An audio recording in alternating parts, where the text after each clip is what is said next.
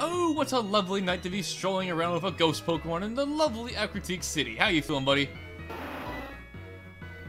He's feeling pretty good, apparently. That's good to hear, because we got ourselves some business to take care of today.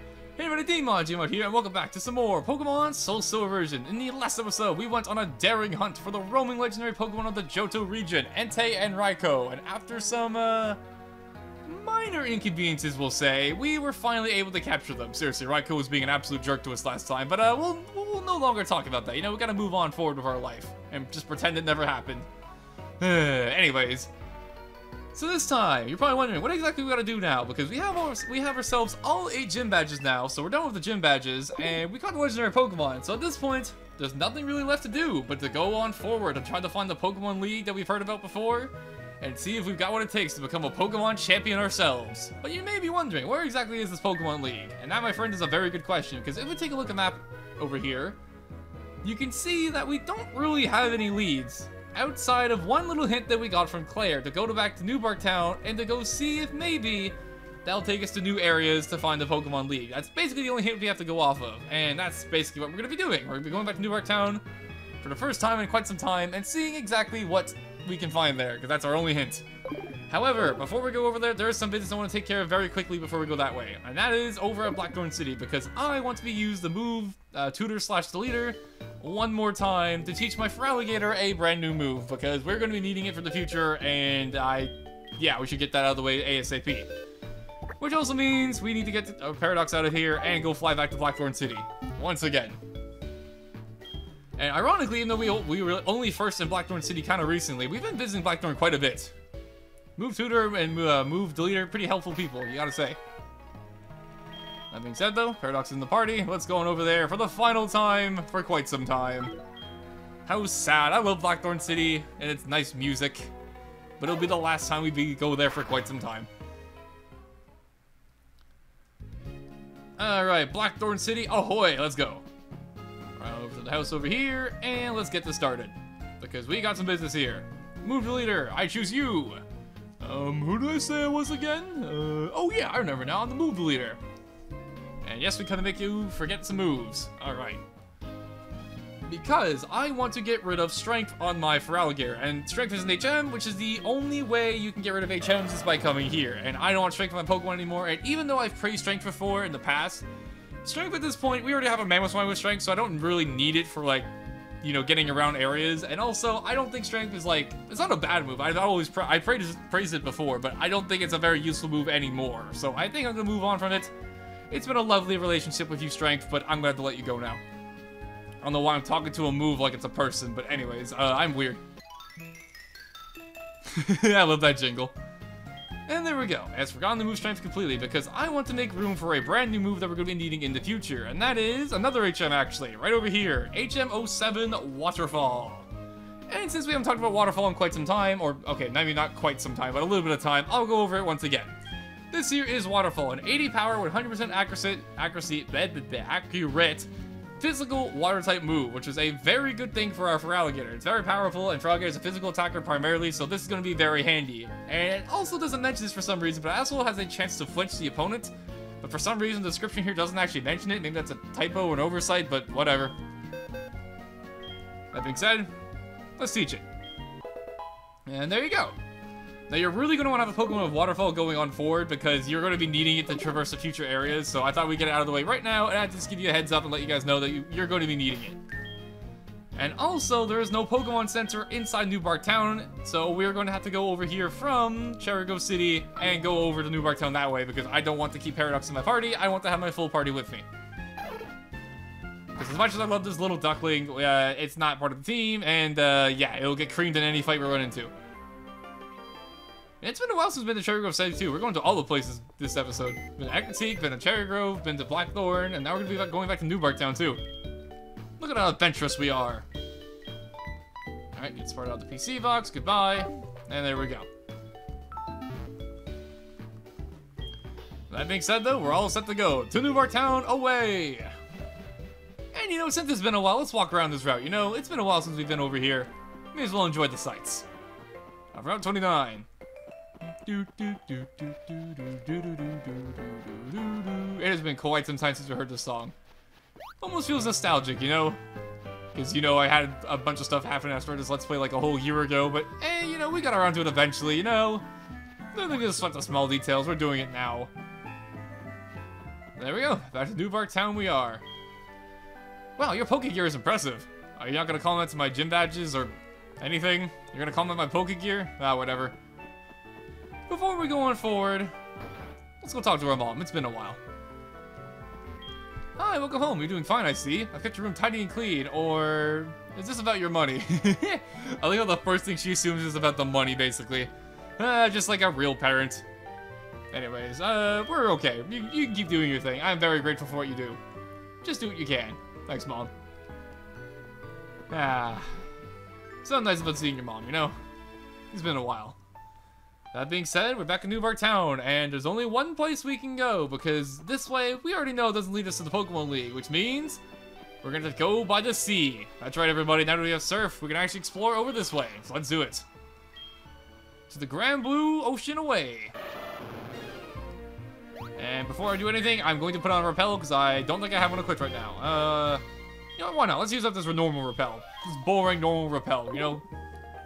We don't need... It's so lackluster compared to the Super and Max Repels. But yeah, as you can see over here, we actually have a whole other route over here. Interesting, isn't it? And it's also one of the shortest routes ever because we're already at the end, apparently. And who is this? Hey! Do you know what you just did? You take your first step into Kanto. Check your Pokegear map and see. What are you, the Border Patrol?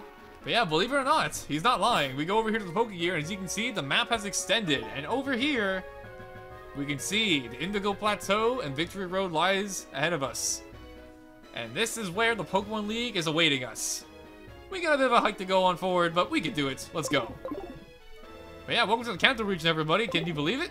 This game actually features two regions, Johto and Kanto. Pretty cool.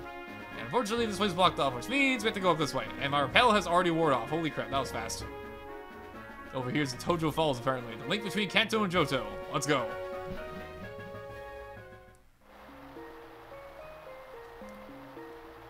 Alright, Tohjo Falls, here we go. And as you can see, immediately as we walk into here, we have ourselves a waterfall, which is why I said you're going to be needing waterfall to go any further, because if you don't have waterfall on your team, you're kind of stuck.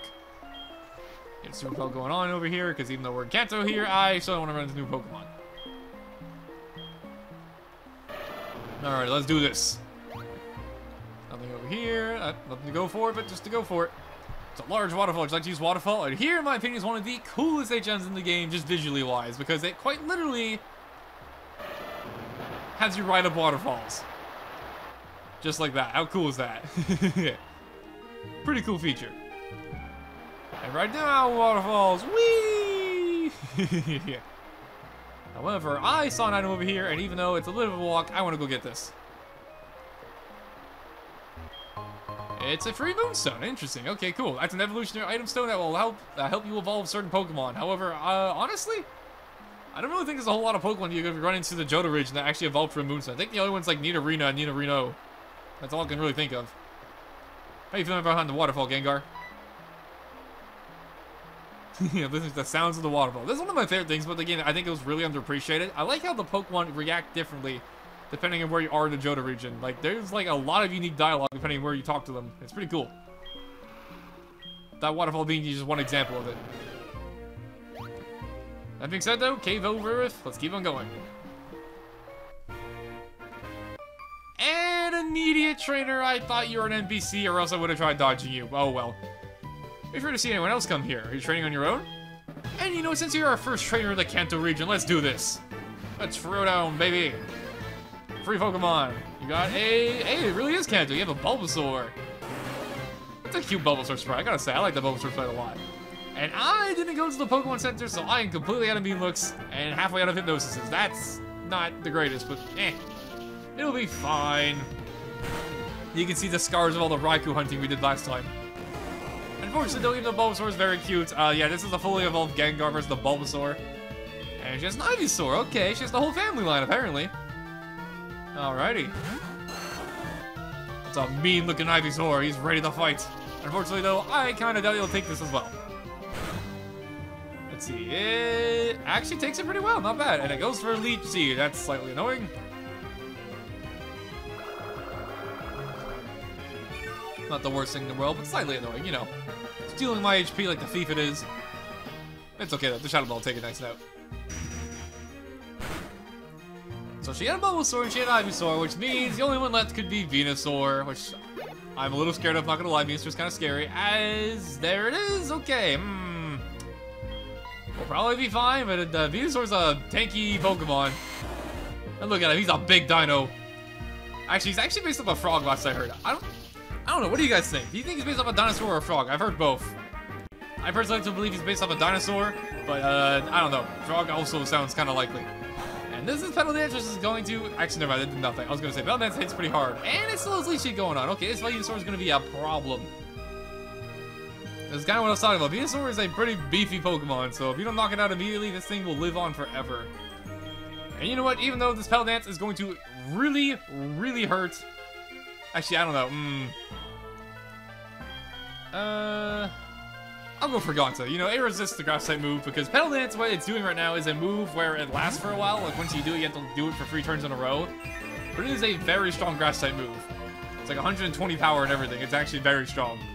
But thankfully we resist it, so it's not the worst thing in the world. Gonna go for Aerial Ace here. And hopefully do a good chunk to it. We'll find out.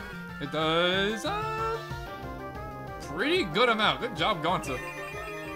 I always like think that Pokemon are gonna take less damage, but then Gonta's just such a freaking beast that it just destroys everything. And I got confused. Alright. It's one of the downsides of Petal Dance that if you do it for free turns, well, you have to do it for free turns, but once it ends, basically, you get confused guarantee, which kind of sucks, but sometimes it's worth it for that strong power. Getting hits level 35. And we get some nice XP for our trouble. Oh, you're really strong. Get some money, and a good battle has been fought. Let's keep going.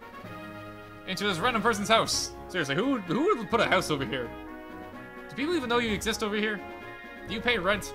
I don't know. Anyways. Where are you off to with Pokemon? The Pokemon League? Are your Pokemon loyal enough for you to win? Let me see. If it, if it doesn't come to trust you some more, it could be tough going.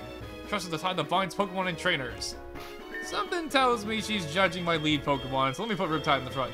Actually, here we go. Better idea. Let's put Espeon in the front. Since, you know, it literally evolved through happiness. Yada yada yada, Pokemon League, loyal enough, and there you go. Ah, your Pokemon trusts you very much. It's nice to see a good trainer. Here, get for your journey. And by doing this, you get yourself TM37, which, if I remember correctly, is TM for Sandstorm. If I remember this, I'm a super nerd. And I'm a super nerd, oh my god. I'm surprised I remember that, actually. It's a move that inflicts damage on both you, uh, your, and your foe's Pokemon. However, some Pokemon, such as Rock, Ground, and Steel-type Pokemon, take no damage. There are other ways to avoid taking damage. I'll let you figure it out.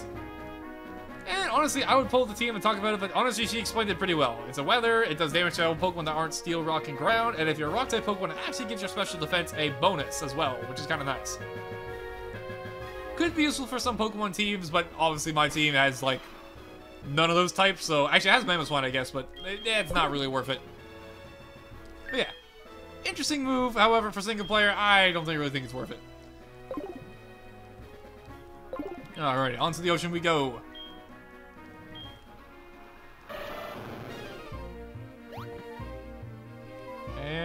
Some grass over here, and another trainer. Uh, you know what? I'm in the mood to fight. And plus, not to mention, my Pokemon, as I mentioned before, are kind of low-leveled, so honestly, I'll take all the experience I can get. I'll fight at pretty much everybody. Because why not? You know, we're Pokemon trainers. We gotta show who's the greatest, dang it.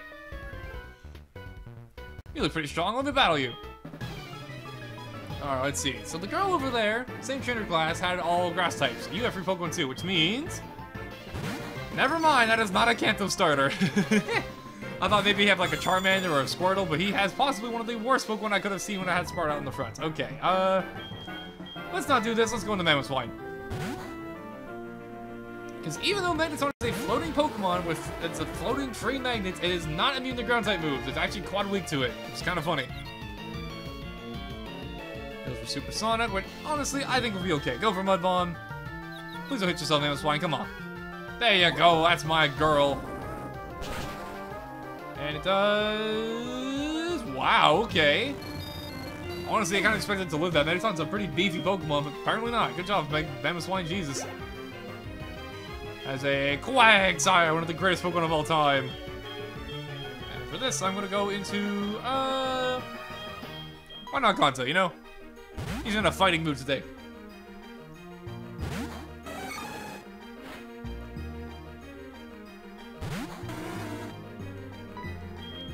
Look how dopey and happy Quagsire is. The sheer goofiness and just dope dopiness of Quagsire.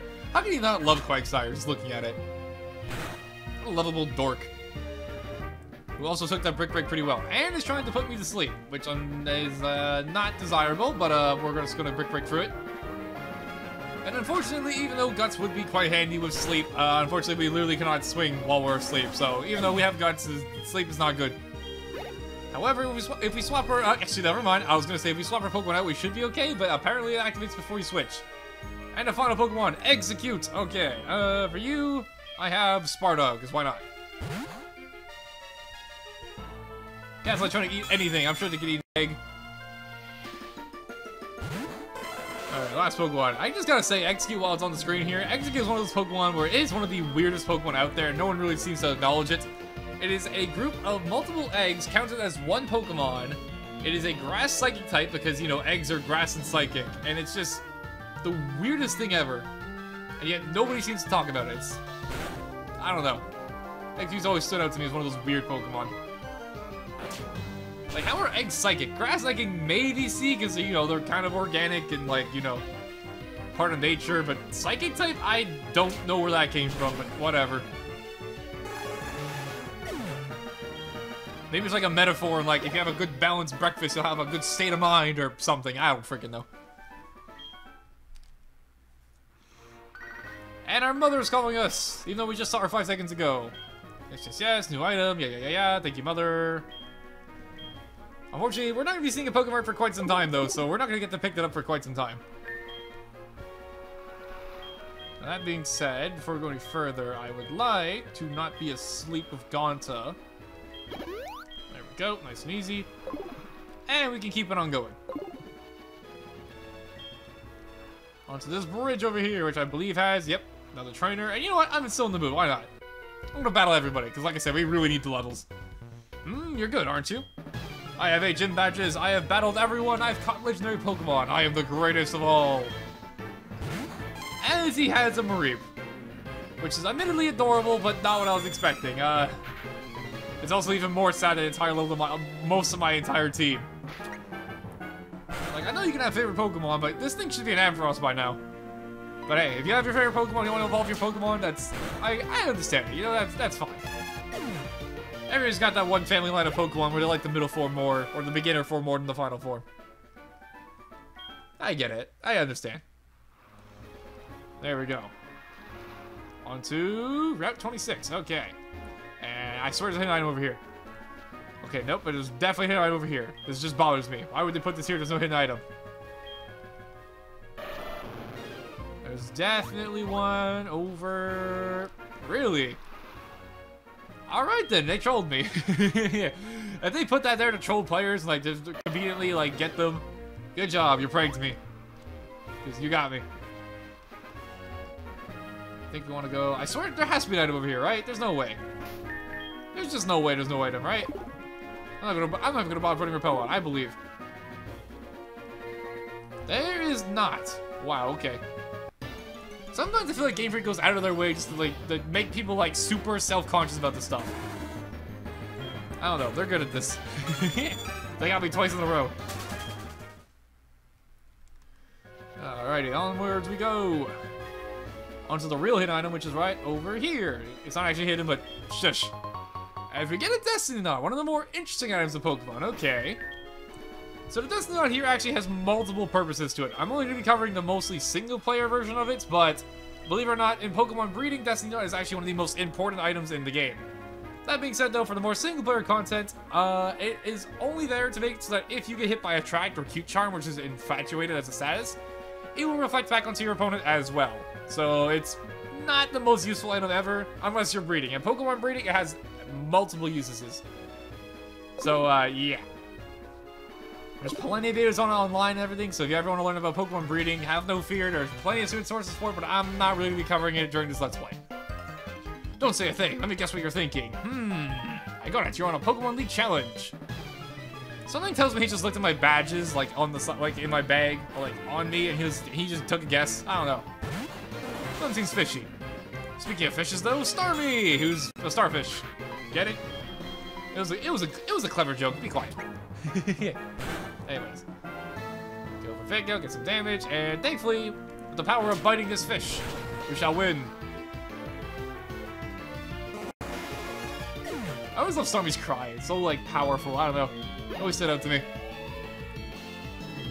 As they have Girafarig, one of the best Pokemon names of all time. And honestly, uh, my bite is still going to hit this thing really hard, so I'm going to stick with it. Bite him before he bites you with that tail. Yeah, look at that. Nice damage. No flinch as it goes for Assurance. Alright. That's going to do, yeah, nothing. And we're good. And if I can get a new move on this level, that'd be pretty cool. Just saying, better level up. Come on, game. You know you wanna. It'd be pretty cool. Just saying. We get nothing. Oh well. And once again, another Exeggcute. You know what? Uh, I'll go for Gonta this time. You know why not? Let's get you level 34 too, shall we? Never mind, you're nowhere close. I thought you were close. And I'm going to Aerial Ace.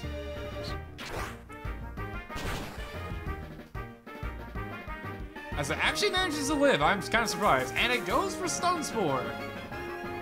I think I'm actually to keep that, you know? It makes me, you know, double the attack power. You know, that's pretty cool. Oh, this Confusion's not so cool. This is to hurt. Okay, actually, that wasn't that bad. You know what? I'm to keep this Paralysis. No, double attack power doesn't sound too bad. You know, I, I like being able to one-shot everything with Brick Break. Sounds good to me. You're too much.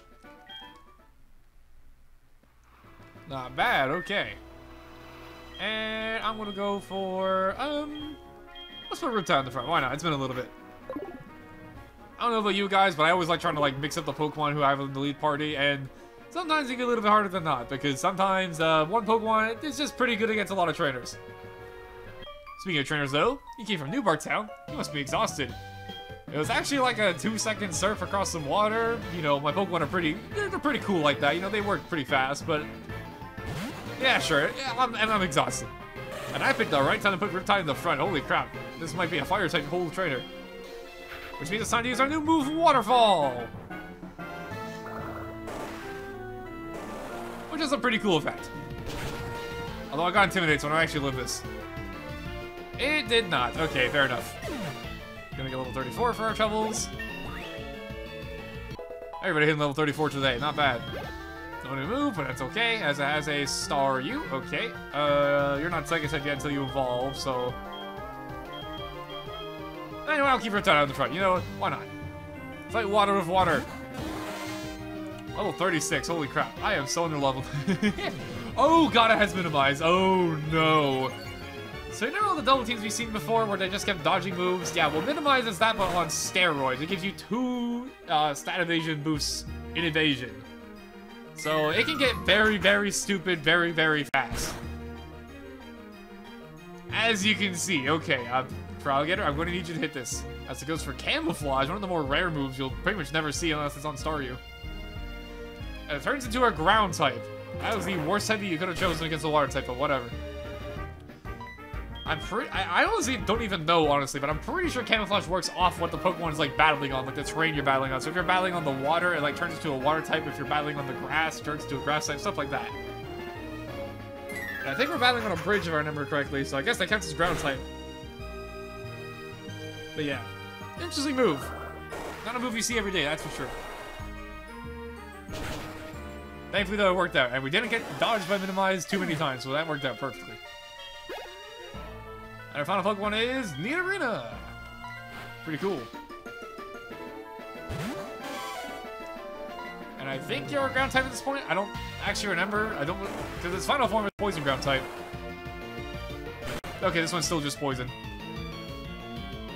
As we get the flinch, I'm gonna go for surf now, which I think we're not gonna because we got intimidated earlier, which is why our waterfall didn't do as much. As it does, perfect. Look at XP! Isn't it so nice to actually get XP now we don't, don't have to use experience share? Isn't it so lovely? Not too shabby, you're doing something right if you can beat me. Even by unlikely fluke. I like you. Give me your number. You can be my practice partner. Ah, why not?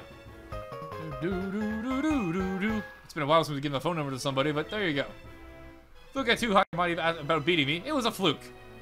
Alrighty, I'll keep that in mind. It wasn't a fluke. Uh, anyways, though, uh... on to Route 26. We're making good progress. And it's a fisherman, which means Gator is probably not going to be the best choice here. So instead, I'm going to go for... Let's go for Espeon. Why not? You know, Espeon's the highest level Pokemon, but yeah, whatever. I like our good kitty. I'm feeling great today. I feel like I can beat the League Champion. Okay, I know he's I know he's saying this, and I'm proud of you for you know having a good ego, but uh, but don't have like three Magikarps. Okay, he actually has some Pokemon besides Magikarp. Okay, maybe he can beat the League Champion. However, I picked a perfect time to have uh, Espeon out because this is actually a Poison type. Which, on that note, one thing I will always say, I never really got why Psychic would beat Poison. You think it'd be the other way around because, you know, if you're sick from Poison, you're not, like, feeling good. You think Poison would beat Psychic in that regard, right? Because, you know, it affects your nerves and everything, but I guess not. Pokemon logic, dang it, I don't know. One of those type matchups I never really understood.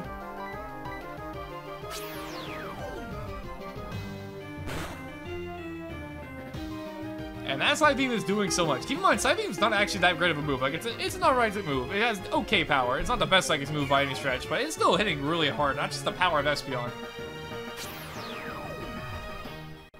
Feels so freaking nice to finally have a real Psychic type attack.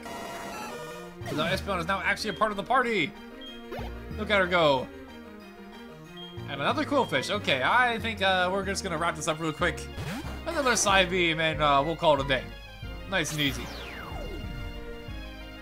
Although I should definitely be giving my XP to other Pokemon because, uh, yeah, Espeon's actually one of the few Pokemon who are not on the level. Compared to the rest of my team. And we don't even get the level up. Okay, fine, fair enough. No, not in this battle. Alrighty, good job, Espeon. Let's keep going. And I'm gonna switch it up here. Uh, I'll go back to Sparta, why not? Alrighty. And another trainer, who looks like a psychic, which is perfect for Persian because we're going to bite the heck out of him.